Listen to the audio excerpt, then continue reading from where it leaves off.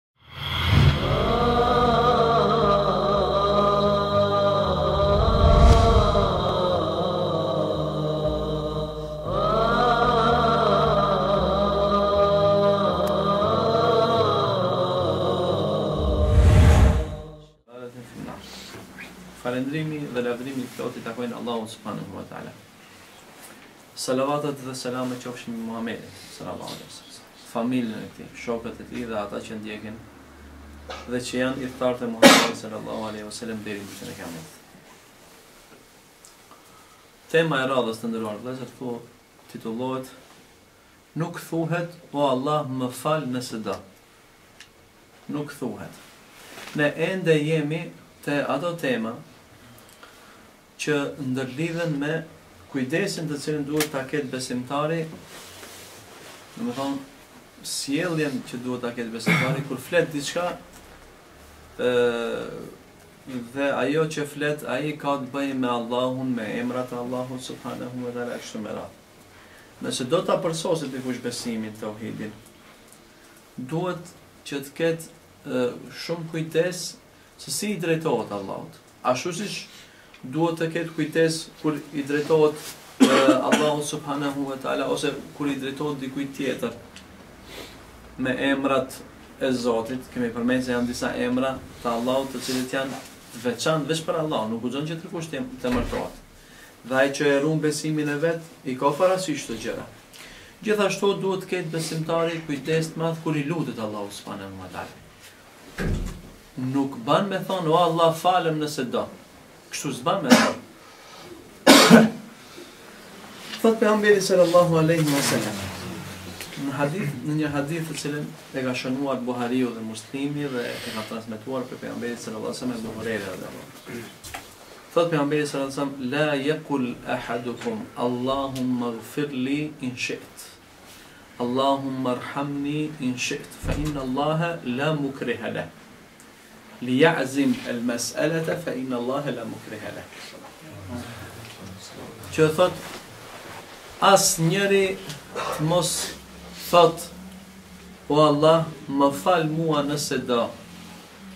O Allah nëse dëshiron më fal mua dhe o Allah nëse do më mëshiro mua më bën rahmet domethënë li jazim el mesele duhet që të jesh i vendosur kur të kërkosh, jo i luhatur, jo i nguruar kur të kërkosh diçka prej Allahut subhanahu wa taala.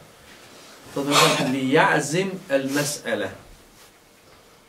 Kërkesën, Secili prej jush, kur ta bëjë lutjen prej Allahut az, kur t'ia drejtojë Allahut subhane teala lutjen, le të jetë i vendosur, fe innallahe la mukrihe leh, se Allahun s'ka kush e shtin me zor që të të përgjigjet. S'ka kush e shtin.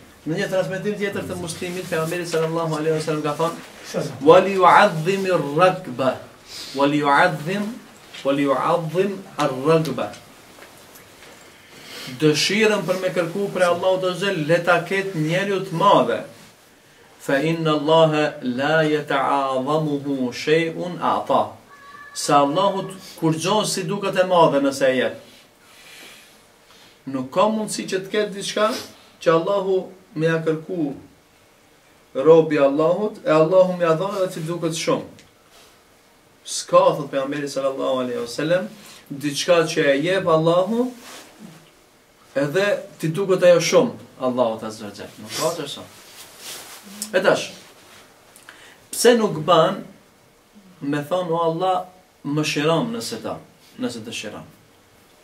Për arsye se o vëllezër kjo në një farë mënyre, kjo në në një farë mënyre shpreh tre tre ë nënkupton tre gjëra të gabuara. Nëse dikush prej besimtarve thotë o Zot mëshirom mua nëse do. tre gjëra. E para kuptohet sikur se sikur dikush me thonë o Zot, unë s'po të shti me zor veç nëse do falem. Unë s'po të detyroj, po kështu thënë tjetër. Unë s'po të detyroj. Prandaj fund profeti a.s. në fund të hadithit thotë fa inna Allaha la mukriha lah. Mos ju drejtoni me kësi fjalë të luajshme. Për arsye se Allahu subhanehu ve teala kurkush s'mundet me detyru me bë diçka, s'ekziston kurkush. Se Zoti absolut krijues. Krijues i jonë, i cili do të thonë gjithçka e ka në dorën e tij. Edhe bën çka dojë. Domethonë, puna e dytë është nuk bën me thonë, o Allah, mëshiromë ose falem, nëse ti do, Nuk ban me thon ket për arsye se jep me nënkuptu sikur kadoniher osht tepër që Allahu me mi dhan robit të tij ato që e kërkon. Kadoniher është shum për Zot. Jo. Prandaj s'ban me thon o Allah falem nëse do.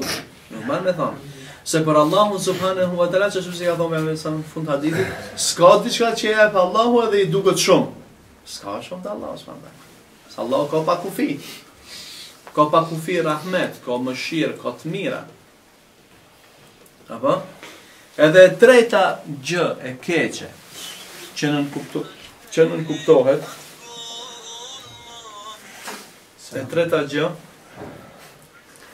e keqe që nënkuptohet është se nëse njeriu shprehet kshtu o Allah falëm nëse do kjo sikur jep me kuptu se robi është i panevojshëm për ato që e kërkon Ëro, se kur thom unë sikur atë kjo nuk bëhet krahasim, mirëpo, thotë dikush nëse do mundesh me ma bën këtë mirë nëse do. Vetëm unë nuk jam i vartë prej asaj. Andaj është shprehje të cilën e ka ndalu sheriati. Dhe kjo mund të jetë cenim i teuhidur rububije, teuhidul uluhije, Edhe Tauhidul Esma'i wa Sifat. Se çështjet e besimit kanë të bëjnë ose me njëshmërinë e Allahut në të qenit krijues, furnizues dhe pronar i gjithësisë, që quhet Tauhidur Rububije, Ose kjo shprehje mund të cenojë besimin në atë se vetëm Zoti meriton të adhurohet, ose mund të cenojë tauhidul asma wa sifat. Mirë. Domethënë, e, e morëm vesh se pse nuk ban me thonë, o Allah, falem nëse do. E, e kuptum apo për tre gjëra. Domethënë edhe një herë po i përsëriti në mënyrë që të mbahen mend. E para se nga kjo shprehje nënkuptohet sikurse Allahu subhanahu wa taala domethënë ndonjëherë detyrohet për me i ndihmu dikujt, kjo shprehje çat përshtypje të jep. O Zot falëm nëse do. Atë s'po detyroj nuk. E dyta, sikurse Allahu subhanahu wa taala Gjërat të cilat ai i fale dhe i jep prej anës tij ndonjëherë i duken shumë, dhe e treta sikurse robi shpreh një lloj pavarësie, kurse realiteti i tauhidit, realiteti i tauhidit është me tregu fukarallëkun tonë përpara Allahut, nevojshmërinë që e kemi ndaj Allahut subhanehu ve te, kjo është tauhid i vërtetë. Bile kajmaku i ibadetit, krejt ibadeteve, është në qëketë me tregu, nevojën tonë që e kemi për Allahun subhanahu wa ta'ala. Ne jemi nevojtarë të mëdhej për Allahun subhanahu wa ta'ala. E si ka mundësi që dikush ta ketë besimin në rregull nëse me kësi fjalë i drejtohet Allahut, o Allah falëm nëse do ti. O Allah mëshirom nëse do, s'ka mundësi. Prandaj si shprehje, mund mund të thotë dikush po s'e kam pas atë nijet këtë. Si shprehje është e ndaluar. Nuk është sjellje, domethënë e mirë, se ka disa gjëra të cilat kanë të bëjnë me me mënyrën, domethënë e të sjellurit. A nuk është ndonjë keqkuptim? Ama këto gjëra që i thash unë se nënkuptohen nga nga hadithi asnjënën prej tyre nuk e mendon ai, vetëm se mos u shpreh kështu. Ke kujdes, ruhu, kur është në pyetje Allahu Azza wa Jall, si i drejtohesh, si e, si e, ashtu sikurse duhet të kujdesesh se si e adhuron Allahun subhanehu ve teala, ashtu që si kujdesesh se duhet me adhuru vetëm Allahun subhanehu ve teala, duhet të kujdesesh edhe atë se si shprehesh kur është në pyetje Allahu subhanehu Allahu subhanahu wa taala. Parashtrohet pyetja. Duaja e istiharës, a vjen në kundërshtim me këtë që e tham deri tash? Kush e di më intereson çka është duaja e istiharës, edhe kush e di përmendsh duanë e istiharës? A ka mundësi, megjithëse ani i nxit zor, nuk është problem. Duan e istikharës, a, a e kupton dikush njëherë çka do me thonë, istikharë namaz? Ti a e di? Po kur fillon të ndërri fund, kur e dishim, të është? Po, do me thonë, është një dua që quhet dua ul istikhare. Dua e istikharës është kur je në dilemë, edhe s'mundesh me vendosë për diçka, i fal dy rekate namaz edhe e ban qëkëtë dua.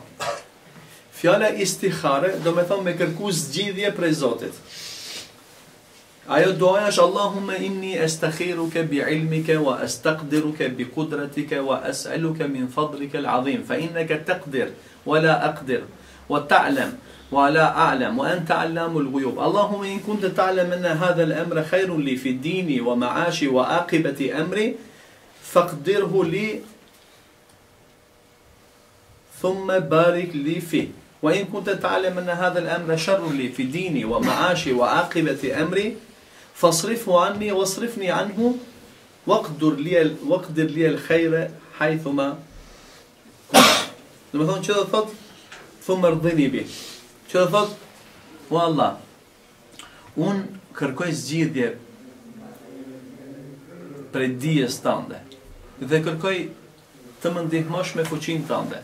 Se ti o Zot di e unë s'di, ti ke fuqi e unë s'kam fuqi. Dhe ti je ai i cili i di gjithçka, botën e fshehtë. O Allah, nëse nëse e di se kjo punë është mirë për për dynjanë teme, për dinin tem dhe për fundin tim. Kjo gjë e ka për qëllim, do me thonë, kjo punë të cilën ti duhesh me vendosë. Zakonisht dikush është në dilema, me u martu apo mos me u martu me filan vajzën, një djalë ose një një një ose një vajzë me filan djalë. Dikush është në dilema me hi në këtë specializim apo në atë tjetrin. A di, a, është, i vijnë momente të ndryshme, do me thonë, në jetë ku i ke para vetes disa zgjidhje dhe ti nuk e di se cila është ma hajr për ti. Thu o Allah, Nëse e di se qe kjo punë konkrete, të cilën unë veç po duhet ma me me ndërmarrë një me e marrë një vendim dhe me e ndërmarrë një hap nëse di nëse e di Allah se kjo punë është mirë për dinin tem dhe për dunjanë teme dhe për fundin tem atëherë caktoje për mu Pastaj jepëm bereqet. A nëse e di se kjo emër, kjo, ky, arabisht, ky emër, domethënë, kjo çështje, është keq për dinin tem, për dunjanë teme dhe për përfundimin tem, atëherë largomë mu prej asaj pune dhe atë punë largoje prej, prej meje, Dhe caktoma o Zot të mirën kudo që jam dhe më ban të jem i knaqur me atë të mirë. E shifni që kjo, formulimi i kësaj duaje. A thu vallë bie në kundërshtim me atë që tha se s'ban me thonë o Allah falëm nëse ti do, a ktu është o Allah nëse ti e di se nëse ti E di se kjo punë është e mirë. Nëse ti e di se kjo punë është e mirë për mu, kjo punë është e mirë për mu, atëherë caktoma o Zot, a vjen në kundërshtim? Jo, nuk vjen në kundërshtim se këtu e panjohura, e panjohura nuk është, domethënë, kërkim me luhatshmëri prej Allahut subhanehu ue teala, nuk është kjo. Andaj dijetarët kanë përmend, se kur ta thuash duaul istikhare, duaja me të cilën ti kërkon zgjidhje prej Allahut subhanehu ve teala, të të ndihmojë që të marrsh një vendim. Kjo nuk është kërkesë me luhatshmëri, po kjo është thjesht shprehje e injorancës tënde se nuk e di se cila është më e mira. Andaj kërkon prej Allahut subhanehu ve teala që të të udhëzojë dhe ti ta marrsh vendimin e duhur. Kjo është e para. E dyta, shprehja, shprehja kur dikush është i smut edhe vjen një besimtar edhe të viziton ose të takon ose të sheh dhe shef se ti je pa qef, edhe thot labes tahur inshallah. Është sunet apo me i thon kur dikush është i smut, me i thon tahur inshallah. Çfarë domethon tahur inshallah? Domethon pastrim me lejen e Allahut, pastrim me lejen e Allahut. A kjo shprehja inshallah vjen në kundërshtim me ndalesën se nuk guxojmë që me luhatshmëri të kërkojmë prej Allahut subhanehu wa taala. Se pejgamberi sallallahu alaihi wasallam thotë, asnjëri prej jush të mos thotë o Allah falëm nëse ti do, o Allah mëshirom nëse ti do. Le të jetë i vendosur kur kërkon prej Allahut diçka, për arsye se Allahun subhanehu wa taala askush nuk mund që ta detyroj për diçka. Jo, edhe kjo tjetra nuk vjen në kundërshtim. Se sunet është i njëjti, pejgamberi a.s. që ka ndalu, domethonë që ai i cili ka ndalu që t'i drejtohemi Allahut subhanahu wa taala me luhatshmëri në kërkesë, i njëjti kur i ka taku të smu të smurit ose kur i ka vizitu ata, ju ka thonë tahur inshallah, pastrim inshallah që është këtu Faktikisht domethënë është informim, nuk është kërkesë, se apo fjalia mund të jetë ndonjëherë kërkesë, ajo rënditet te fjalitë urdhërore, megjithëse kur i drejtohesh atij që është më nalë se ti quhet kërkesë. Kërkesë, apo se a formulimi, domethënë forma të cilën e merr fjala kur kur thon O Allah, falëm! Kjo falëm është urdhër, apo? Mirëpo urdhri kur bëhet prej atij që është i vogël, karshi atij që është i madh, kjo quhet kërkesë. A e njëjta domethonë kur thotë Allahu falu, falu vjen prej nal poshtë, atëherë quhet urdhër, detyrim, e kështu me radhë. Domethonë këtë rast pejgamberi a.s. tahur inshallah kjo është informim nuk është kërkesë dhe nuk shpreh kurrnjëfar lloj luhatshmërie dhe ngurimi, domethonë për me për për për me përfitu, domethonë prej mëshirës së Allahut subhanahu subhanahu wa taala. Këto ishin ato dy mesele të cilat dijetarët që i hasa unë, Nëpër libra të ndryshme, domethënë i kanë përmend sepse në shikim të parë mendon dikush mundet me mendu se kadale këtu një herë the ti se s'ban me luhatshmëri, me iu drejtu Allahu subhanahu wa taala. Nga ana tjetër, nëse e lexon duaul istihare, lutjen e istihares, aty sikur jep një një një një përshtypje, domethënë se ka një lloj luhatshmërie, o Zot, nëse ti e di se kjo është e mirë, atëherë caktoma, jo, nuk është e vërtetë për arsye se Injoranca që shprehet në duan e istiharës është faktikisht që ka të bëjë me njeriun e jo nuk shpreh luhatshmërinë e atij se do apo nuk do diçka prej Allahut subhanehu subhanehu wa taala njëjtë është edhe shprehja o Allah falëm nëse ti dëshiron. E ngjashme me këtë temë dhon kujdesin kur që duhet të kemi në fjalët e tona për të ruajtur pozitën e tauhidit në zemrat tona dhe për të mos e njollos tauhidin me asnjë lloj gabimi qoftë edhe me gjëra të cilat nuk janë besime të kota mirëpo janë shprehje që nuk u kanë hije besimtarëve se këtë këto është ashtu qef domethënë vin na vjen rasti që dëgjojmë domethënë tema të cilat kanë të bëjnë me përsosjen e tauhidit përkryerjen domethënë që ta ruajmë, domethënë, pozitën e tauhidit në zemrat tona maksimalisht. Domethënë, kjo është qëllim.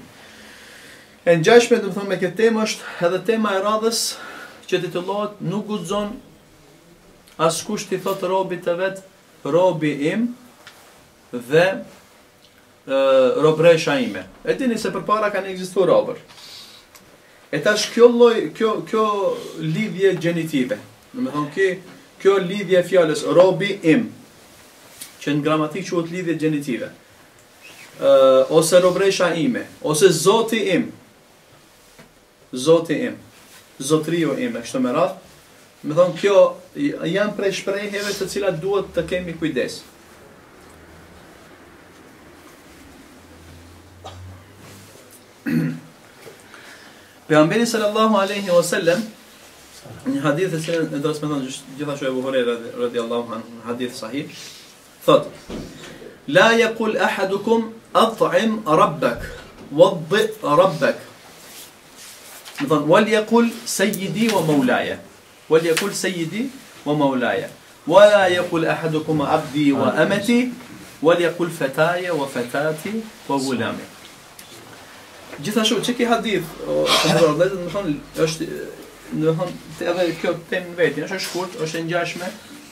me temën pra, paraprake, në të cilën pejgamberi sallallahu alaihi wasallam thotë: Asnjëri prej jush le të mos thotë ushqeje Zotin tënd. Se edhe më herët e kemi diskutuar pak këtë meselë se arabisht një prej emrave të Allahut është Rab. Qat fjalë që e përdorim edhe në gjuhën shqipe ja Rabbi, që themi apo? Ja Rabbi do të thotë o Zoti im. Fjalë adekuate e fjalës Rabb, arabisht, Rabb, është Zot, shqip. Domethënë qaj qaj është ajo është. Fjalë e përkthyme. E tash e kemi përmend se në arabisht përmendet për shembull Zoti i shpis. Zoti i shpis. Edhe në gjuhën shqipe të njëjtë, ama bash të njëjtin shembull e kemi. Zoti i shpis. Arabisht është rab të dash. Ka forma të shprehjes, mënyra të shprehurit, ku ndalohet ky përdorim i kësaj fjale, edhe ka forma tjera ku lejohet. E tash ne duhet të kemi kujdes kur lejohet edhe ku ndalohet.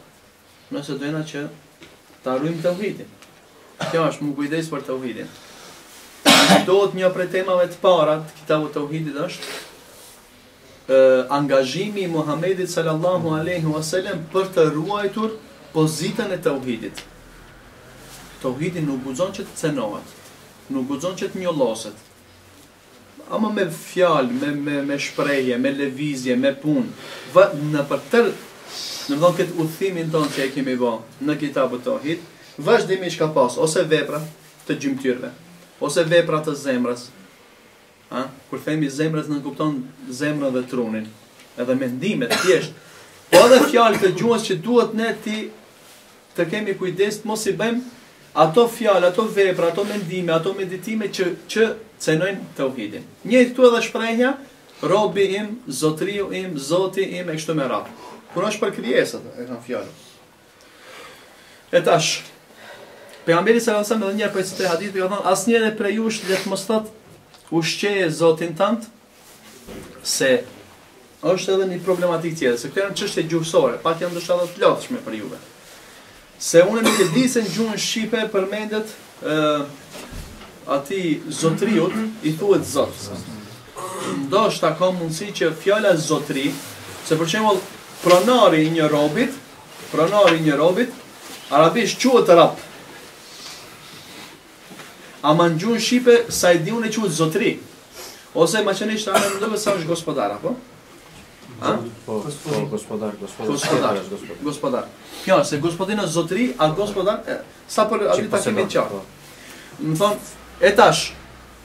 Domethënë, ka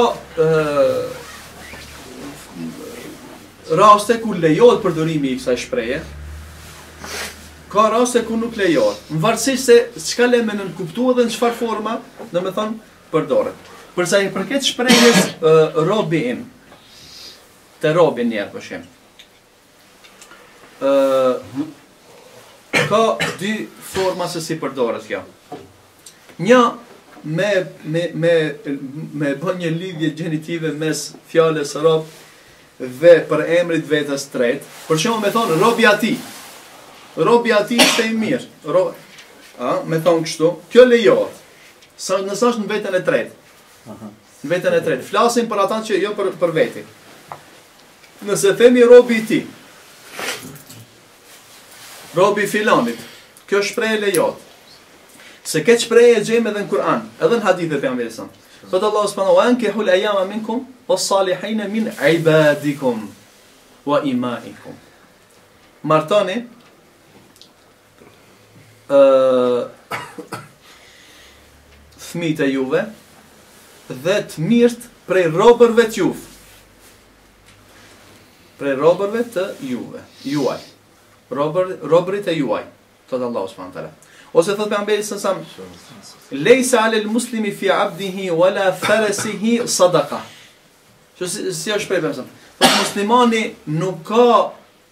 Nuk duhet me dhënë zeqat për robin e tij edhe për kalin e tij, ama robin e tij. Tash robi i përshkruhet pejgamberit uh, muslimanit. E shef? Domethënë përshkrimi i robit në veten e tretë dikujt tjetër përveç vetvetes tande, se hadithi është mos thuj robi im.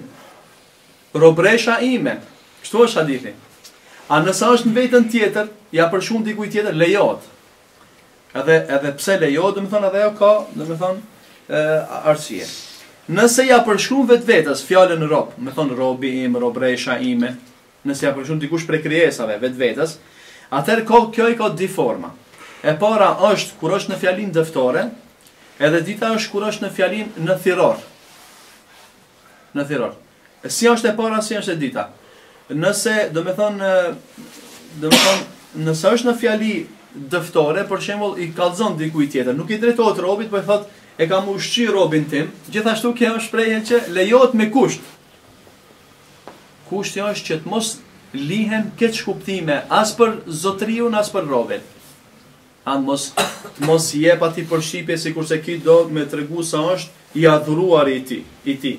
Mos e le gjithashtu të njëjtën përshtypje te robi, se ai është i i faktikisht i nënshtruar dhe i i gjunjëzuar përpara zotëriut të tij, ashtu sikurse dihet para Allahut subhanahu wa taala. Vetëm se nëse është në fjali dëftore, është informim, nuk është, domethënë fjali, domethënë urdhërore, atëherë lejohet.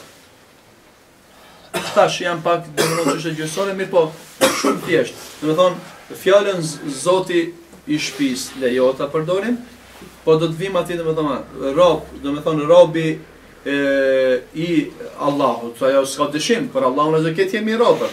Krejt jemi, domethënë bile n'kuptimin më t'gjerë sikurse përmendëm në javën e kaluar me Bajramin kush e bën një pyetje. Se robërimi ndaj Allahut subhanehu ve teala i ka dy kuptime, një është kuptimi i gjerë dhe një është kuptimi i veçantë që i vlen veç për besimtarët. Se robëria ndaj Allahut mund të jetë, domethënë, zbatim, mund të nënkuptojë zbatimin e shariatit, këto janë veç besimtarët me këtë kuptim robërt e Allahut subhanehu ve teala. Po robëria mund të jetë edhe me kuptim që askush nuk mund të dalë nga ligjet kozmologjike që i ka caktuar Allahu subhanehu ve teala, në këtë aspekt janë krejt robër.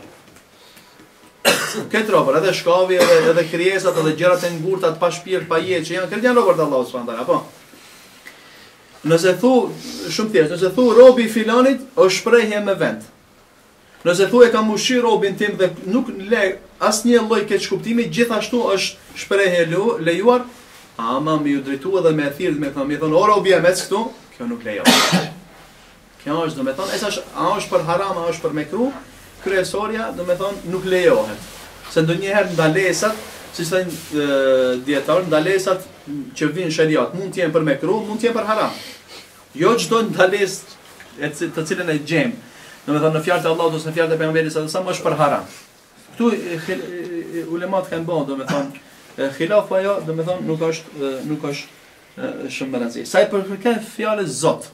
Rabb. Edhe kjo, do me thonë, ka raste ku lejohet edhe ka raste ku nuk lejohet. Do me thonë, rasti i parë. Nëse fjala rabb, unë rabb e përdori sepse ju e dini çka do me thonë rabb, apo e kini qartë krejt, qatë fjalë që e përdori në gjuhën shqipe, e thashtë, do me thonë, kur themi ja rabbi. Ja rabbi, do me thonë, o, zoti im. Nëse fjala rabb, do me thonë, lidhet me përemrin e vetës dytë. Për shembull, nëse thot dikush i thot një robi dikush, a ne mora sa shpaqare me kon rob, shërbtorit i thot. Dikush i, i thot një shërbtor thot ushqe zotin tant. Mirëpo e ka për qëllim pronarin tant. Ama si shprehje arabisht shkon edhe për thashun e një prej emrave të Allahut subhanahu wa taala është Rabb Ama ai është ai është Zot absolut i gjithçkaje. Me atë kuptim s'është askush. Nëse fjala Rab lidhet me lidhje gjenitive me përemrin e vetës përemrin e vetës së dytë, atëherë kjo shprehje nuk lejohet.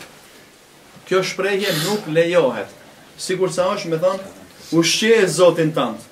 Ne në gjuhën shqipe nuk e di se kjo shprehje është, mirëpo arabishtja e ka, prandaj dhe sheriati ka ardhur arabisht me kallxu se çka lejohet, çka s'lejohet.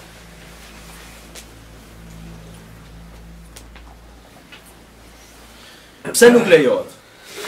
Për arsye se edhe nëse ai që fol, që që që artikulon fjalë të këtilla, edhe nëse nuk e ka niyetin e keq kur i thot shërbëtorit ose robit kur thot ushqeje Zotin tënd, ajo si formulim të tingëllon keq, e shef neve sa keq unë e kam vështirë edhe me e shpreh për me e kallxu.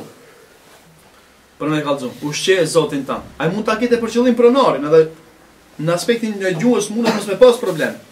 Mirpo është nuk ka hije kështu me me u shpreh.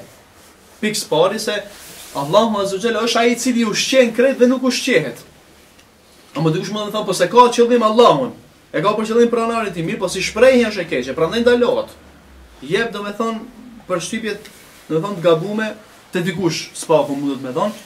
Po edhe nëse e dim niyetin s'është me rëndësi, nuk është si shprehje, domethënë si shprehje nuk është e mirë dhe gjithashtu domethënë jep me nënkuptu sikurse ai ai njeri, ai shërbëtor, domethënë e ka një lloj varfërie dhe nevojshmërie të madhe ndaj pronarit të tij sikurse normal duhet ta kishte ndaj Allahut subhanehu subhanehu wa taala. Përdorimi i fjalës Rab në rast tjetër është kur është në lidhje me përemrin e vetës së tret. Përemrin e vetës së tret. Kjo nuk prish punë. Kjo domethonë nuk prish punë, por që ka thënë pejgamberi sallallahu alaihi wasallam prej shenjave të kiametit është robresha me lind Zotin e saj. E u an talidal, kur e pyet Xhibrili, alesam që i vjen pejgamberit, thot, cilat janë kur do të ndodhë kiameti, thot as i pyeturi, as domethon pyetësi nuk e din këtë. Pastaj thot cilat janë shenjat, i përmend disa shenja pejgamberi të kiametit. Edhe thot prej shenjave të kiametit është që gruja me lind zotin e saj në ata domethon pronarin e saj. Do ta lindë ata i cili pastaj do të jetë robëresha e tij.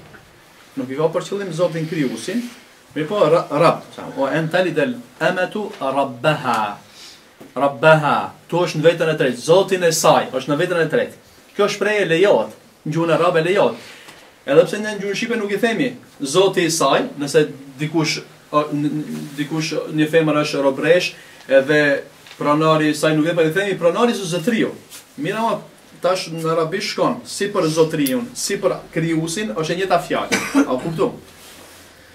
Domethonë vetën e tretë nuk prish punë. Rasti tjetër ku përdoret fjala rab është nëse nëse lidhet me përemrin e, e vetës parë. Rabbi Zoti jem.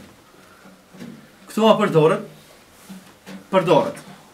Edhe nuk ka problem. Për arsye se si tha Jusufi alaihi salam, kur Zulejhaja, domethonë deshi që ta çnderoj ata, si tha, kale maadh, maadhallah, tha mazallah, Allahu më mbroftë prej ti, innehu rabbi, aj është zoti im, për burrin e saj, se u kujdes, ai domethonë Jusufi alesam u rrit në gjirin familjar të pronarit të tij,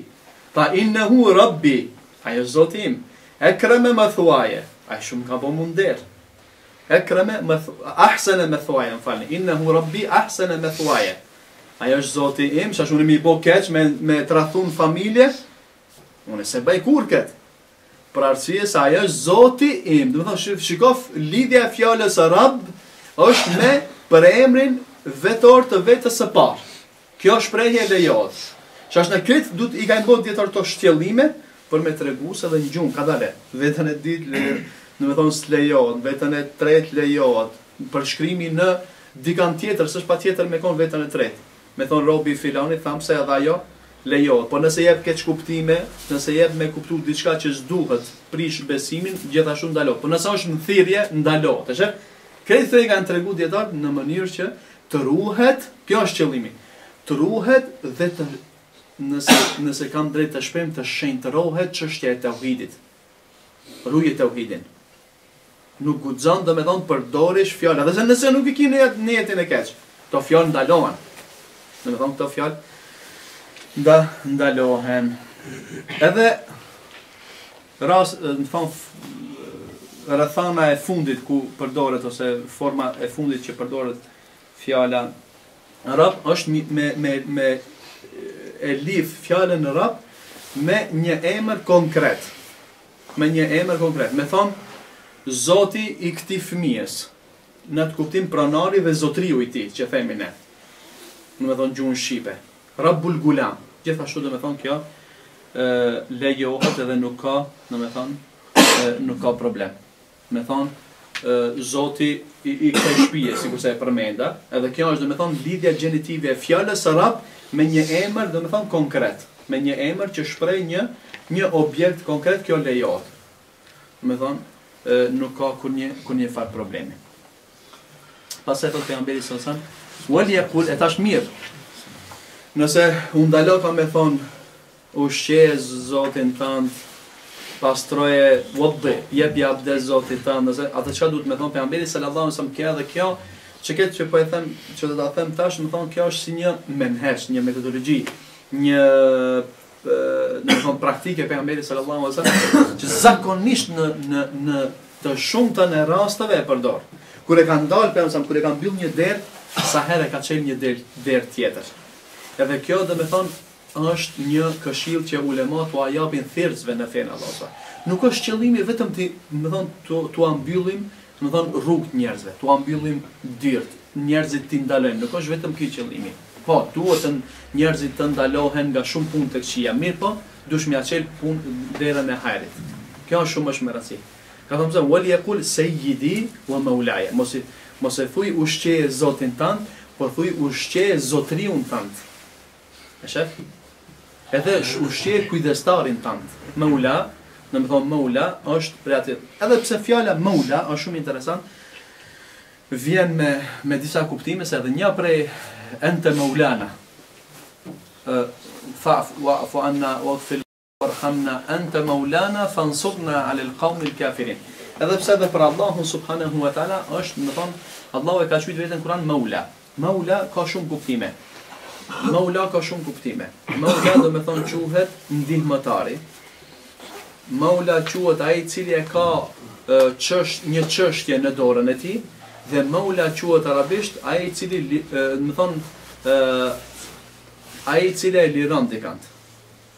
në fakt më fal edhe e kundërta i, i robi domethon ai i cili e ka liruar dikush një rob për robin domethon ai liru liruesi i tij quhet maula këto janë këto kuptime Mirëpo për me i ik më mirë përdorimit të fjalës rab, atëherë pejgamberi sallallahu alajhi wasallam na ka udhëzuar që të përdorim fjalën maula.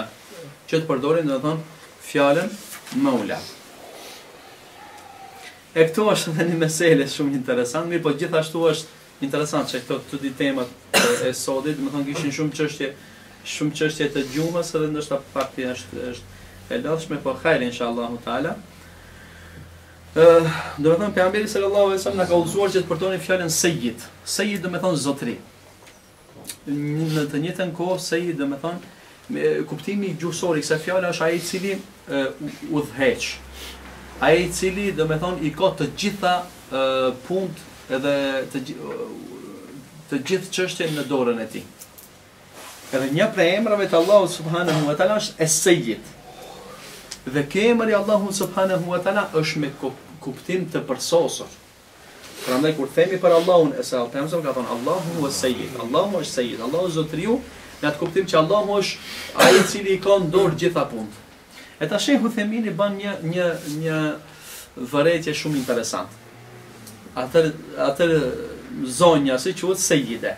Arabisht, sejide, domethon forma femërore me një ta e te'nith në fund. E tash është problematike në arabisht përdorimi i fjalës sejide për gratë. Zonja s'ban me thonë, për arsye se në islam burri është udhëheqës, nuk është gruja. A kupton? Domethonë, se sejid kur i thu dikujt, domethonë, ai i cili është udhëheqës, edhe ai i cili i ka punët në dorën e tij. Këtë kuptim ta jep fjala zotri. E tash në gjuhën shqipe a na jep, neve qatë zotri nuk na jep. Unë është zotëri m'i thonë, realitet nuk është. Ama pozita e burrit në familje, statusi i burrit, ose përnjime është zotëri, prandaj, kurse për gratë, pejgamberi sa në në hutben e lamtumirës, për gratë, ka thonë, ju këshilloj që të silleni mirë me gratë, për arsye se ato janë robresha në duart e juve. Ato janë robër te ju. Prandaj edhe nëse nëse ju nuk e di këne ka festivalin, po besoj që është shpërndarë me robt e shtëpisë që i quajnë. Do të thonë po më shumë është domethon kah të folmet e sa më merr mendja unë megjithëse nuk jam gjuhëtar dhe një ndonjëherë jap edhe liri vetes shumë edhe foli për to, po si duket ata më tepër e përdorin robt e shtëpisë. Robt e shtëpisë, do të thonë është për qëllim gruaja, apo? Edhe edhe vajzat edhe edhe do të thonë gjinia femrore. E tash Shejh Uthejmini bën një vërejtje, thotë Sejide nuk bën m'i thon gruas, a kjo thotë është shumë e përhapur te në të folmurit, në të folmet, në të folmit ton, se grave ju thojnë zonja, ku në realitet zonj, zonja dhe zotri e kanë kuptimin e udhëheqës dhe ato të cilët vendoshin, kurse Allahu subhanahu wa taala kur ka në Kur'an ka thonë ar-rijalu qawwamuna 'ala an-nisa. Burrat dominojnë mbi gratë.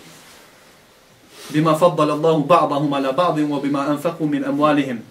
Për shkak se Allahu i mbivlerësoi burrat ndaj grave, i mbivlerësoi. Tafdhil i ka bërë. E kështu me radhë. Eh, kjo është domethënë sa i takon këtyre shprehjeve. Dhe gjithashtu ka thënë pejgamberi sallallahu alaihi wasallam, mos t'thot askush robi im dhe robresha ime, me këtë veten e parë, domethënë ta lidhen lidhje gjenitive, fjalën e rob dhe robresh me përemrin e vetës parë, se kjo domethonë jep sikurse një lloj varshmërie dhe nevojshmërie të robit që duhet ta ketë ndaj Allahut subhanahu wa taala. Jep kët përshtypje, po le të thotë, domethonë djaloshi im, vasha ime dhe domethonë biri im. Ma mirë kështu është m'u shpreh sesa me e përdor domethonë rob edhe Robresh është fjalë domethënë për ato shërbëtorë të cilët e kanë pas domethënë statusin robërve në kohën kur i ka thënë pejgamberi sallallahu alaihi wasallam kjo. Gjitha këto për me tregu vetëm një send se çështja e besimit te ne, domethënë është çështja ma e shtrenjtë që e kemi. dhe duhet të kemi kujdes edhe kur folim, edhe kur i drejtohemi Allahut subhanehu ve teala. Edhe me këto, domethënë, tema para kësaj ishte që të shprehim nevojshmërinë tonë ndaj Allahut subhanehu ve teala, se, se sepse kjo është kajmaki i ibadetit.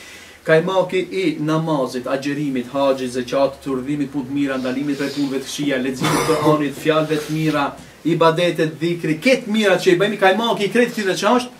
Nevojshmëria jonë për Allahut, ndaj Allahut subhana wa taala, me tregu se ne o Zot jemi robër dhe kemi nevojë për ti kurse ti je krijuesi jonë.